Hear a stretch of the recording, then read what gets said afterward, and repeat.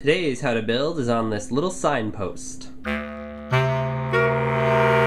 So this signpost shows up uh, behind Trifacto Jones during On the Street with Steve Deepsea.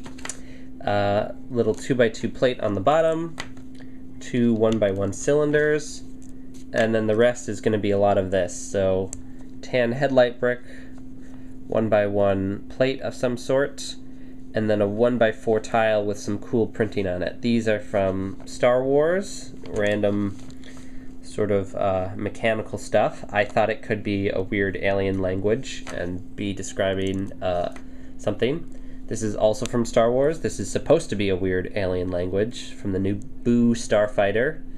Again, notice I'm using a square plate instead of a round plate here. Doesn't really matter. Uh, gonna put this one 90 degrees from the other one and you know, you can angle these however you want. I think they look better not when they're even, but when they're sort of askew. Uh, another one. This one is from the old Adventurer sets. It's describing a curse. You open the tomb, the mummy hits you, you turn into a skeleton explorer. Very scary. Uh, and then the last one, for some reason, I put a plate under the headlight brick to make it go a little higher, and then it just says Octan, which is, of course, the brand of gas in Legoland.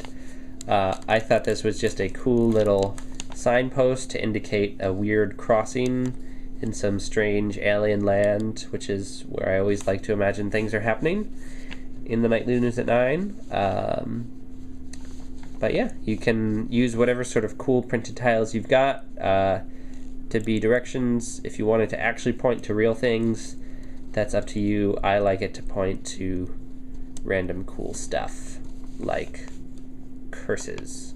This curses that away.